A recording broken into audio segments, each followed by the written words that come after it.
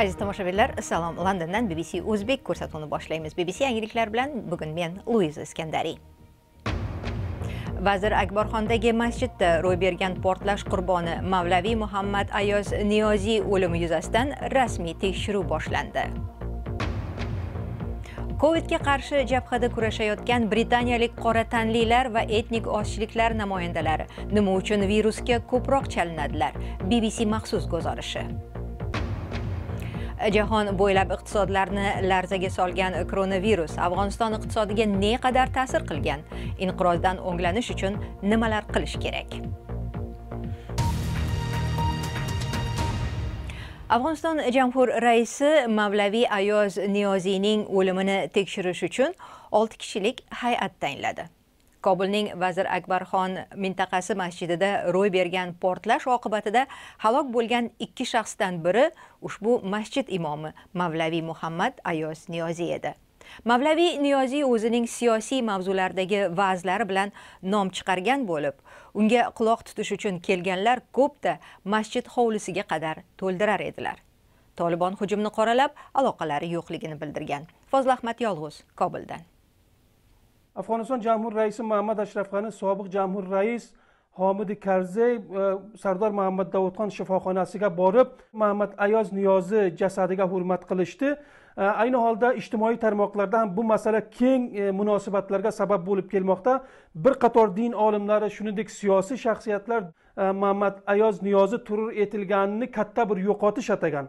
Tolibon ham e, bir xabarnoma nashr etib hujumda qo'llari bo'lmaganini aytib buni qattiq qoralaganlar. Lekin afg'oniston jamhur raisining birinchi muovini amrullo solih tolibon bu ikki jumla yozishlari bilan bu jinoyatda qo'llari bo'lmaganini va bu e, jinoyatdan gunohsiz ekanliklarini isbotlay olmaydi degan fikrni bildirgan.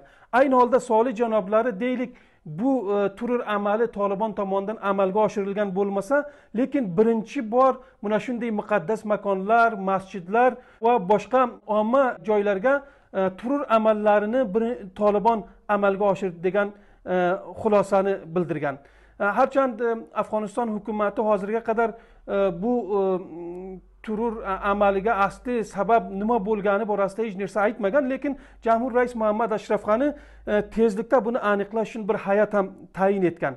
Bu masala esa tashqi munosabatlarga ham sabab bo'lib kelmoqda. E, Amerika e, qo'shma eyalatlarining kobuldagi elchixonasi shuningdek boshqa bir qator elchixonalar ham munosabat bildirib bu hujumni qattiq qoralab chiqqanlar. Mavlaviy niyoziyni yaqindan bilganlar uning bevaqt o'limi yuzasidan tashvish bildirmoqdalar.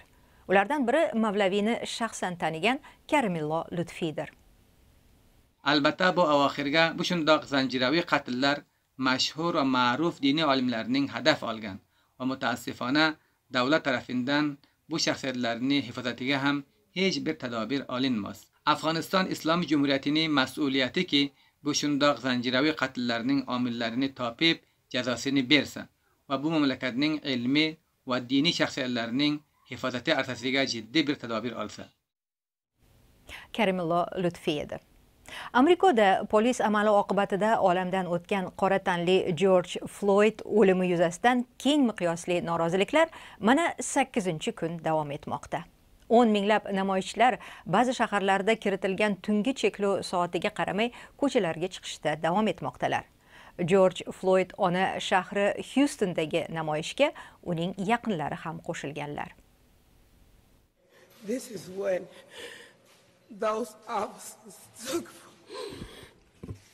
Jorj floydning olti yashar qizi jiananing onasi u g'am alam ichida jorj floydning o'limi qanchalar yo'qotish bo'lgani haqida gapiradi.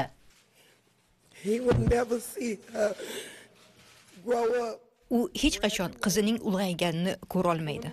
Uni turmushga uzatolmaydi muammoga duch kelib otasiga ehtiyoj sezsa qizim unga borolmaydi. Endi uning otasi yo'q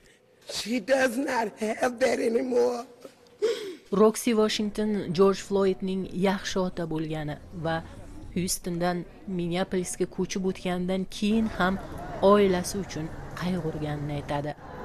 Oilaning g'amiga sherik bo'lgan o'n minglab odamlar esa ular bilan birga hyuston ko'chalariga chiqishgan. Ayni paytda oila namoyishchilarni tinchlantirishga urinadi. Ular sizning quyushqondan chiqishingiz ahmoqona harakat qilishingizni kutishmoqda. Biz bunday qilishimiz kerak emas. Atrofga boqing. Bizning o'zimizdan boshqa hech kimimiz yo'q. Buni sizdan eshitishni istayman. Bizning o'zimizdan boshqa kimsamiz yo'q. Yutuqlardan biri minneapolis polis xizmati ustidan tekshiruvlar boshlanishi e'lon qilindi. Hokim tim vols polis xizmatining 10 yillik xatti harakatlari sinchiklab o'rganilishini aytdi. Minnesotaliklar kuting ma'muriyatimiz qo'lidagi barcha vositalarni ishga solib chuqur ildiz otgan tizimli irqchilikni tormor qilishga harakat qiladi. Ammo biz buni jamoa bilan birga qilishimiz lozim. Nyu yorkning birdamlik maydonida narslar tizza cho'kib faollar bilan birdam ekanlarini namoyish etishdi. Tibbiyot xodimlarining koronavirusga qarshi kurashlari har kuni olqishlanayotgan bir paytda ular ham boshqa bir xastalikka qarshi kurashayotgan insonlarga hurmat bajo keltirishni istashdi. Koronavirus tufayli oylab huvillab qolgan nyu york ko'chalari nihoyat qayta ochilmoqda. Ammo ayni paytda amerika shaharlari boshqa bir pandemiya irqchilik va adolatsizlik tengsizlikka ko'z yumish oqibatlari bilan yuzlashishmoqda. Siz bbc o'zbekning kundalik ko'rsatuvini to'liq shaklda va undagi mavzularni YouTube'dagi sahifamizda istagan vaqtingizda tomosha qilishingiz mumkin.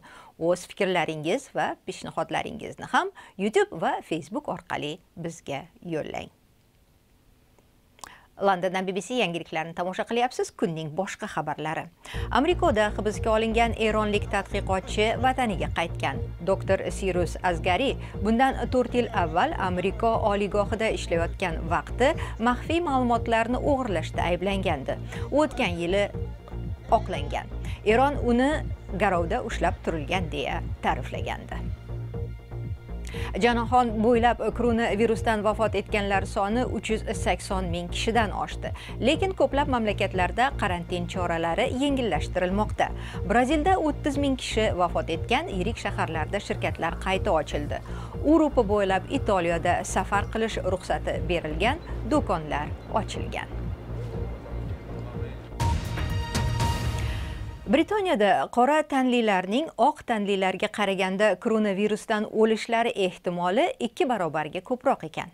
Bbc xabarnigori Clive mayri royal london hospital shifoxonasida etnik ozchiliklardan bo'lgan xodimlar bilan muloqot qildi va koronaning ular hayotiga ta'sirini o'rgandi.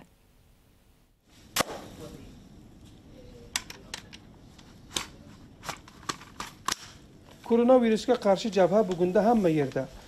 Bu jabha shifoxona dahlizida ham bo'lishi mumkin. Yoki eshik tutqichida yoda hatto birovga qo'l berib ko'rishishda. Dimi va osori virusga qarshi jabhada kurashayotganidan faxrlanadi. U londondagi ruyol shifoxonasini 10 yildan beri erta tongdan quyosh botgunga qadar tozalaydi. Hamma ham doktor bo'la olmaydi-ku. Kimdir nars bo'lishi kerak. Kimdir esa tozalovchi. Hammamiz birgalikda inson hayotini saqlab qolishga harakat qilamiz. Joriy pandemiya sharoitida bizga yordamga kelgan doktor nars va farroshlar orasida etnik ozchilik namoyandalari juda ko'p. Shifoxonaning kovidga qarshi bo'limiga kirib borar ekanimiz yuragim bir sakrab tushdi. Chunki tadqiqotlarga ko'ra etnik ozchiliklardan bo'lganlar oq tanlilarga qaraganda virusga haddan tashqari ko'proq chalinar ekanlar. Nima uchun? Sababi noma'lum.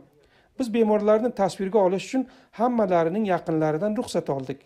Sog'liq tizimida kasallanganlarga yaqin bo'lish va virus holatlari bilan yaqindan ishlash sohasida etnik ozchiliklariga mansub bo'lganlar juda ko'p va shu orqali virusga ham ko'proq yuzma yuz bo'ladilar.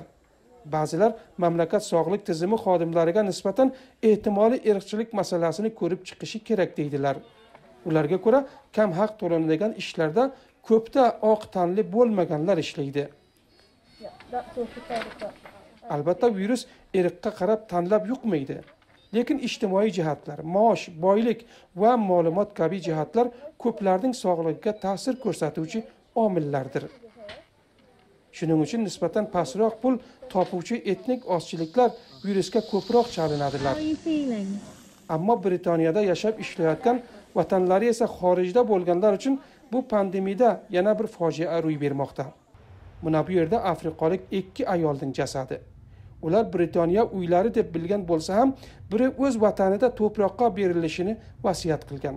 Ammo kuit tufayli chegaralar yopilgani oqibatida ikki oydan beri jasadi o'likxonada. Mana bu yerda esa turkiya va qibris bayroqlari ostidagi jasadlar. Tashqaridagi konteynerda yana boshqa ko'plab jasadlar bor. Royal london. Kasalxonasiga vatandoshlarimiz jasadlarini olish uchun bir necha marotaba keldik. Bu manzara bir kun kelib menga yomon ta'sir qilsa kerak. Bir jamoada o'sib ulg'ayib keyin ularni oxiriga yo'lga kuzatish ularning yaqinlarining azobiga guvoh bo'lish juda juda og'ir. It's painful.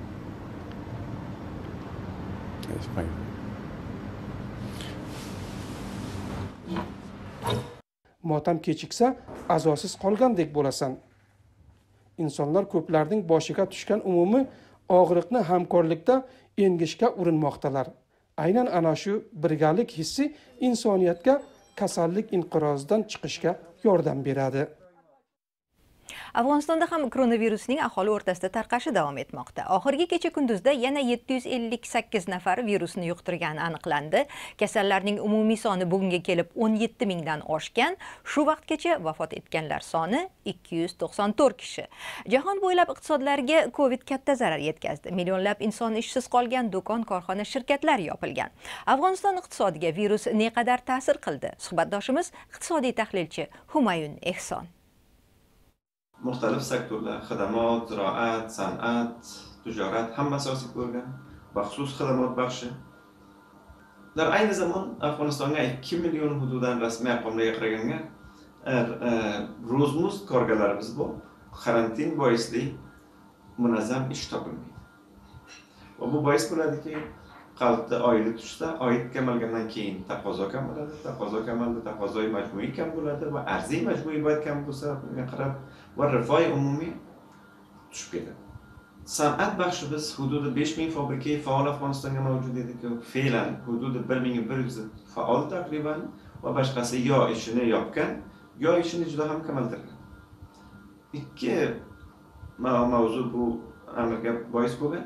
Birinchidan taqozo kamalgani uchun va ikkinchidan ham avvaliya movodiki xorijdan vorid bo'laydi voridoti yo koyish topgan yo zaminiy voridot mavjud emas. Chunki hamsoya mamlakatlar va mintaqa mamlakatlar karantinga ketgan mavod avvaliya berolmaydilar shunga o'xshab tijorat baxshiga binos tijorat avvaldan ham jiddan kasrga mavjud edi va fe'lan baxsus sodirotimiz taqriban mutavaqqif desak bo'ladi chunki tranzit nuqtai nazaridan mushkulotga mavjud.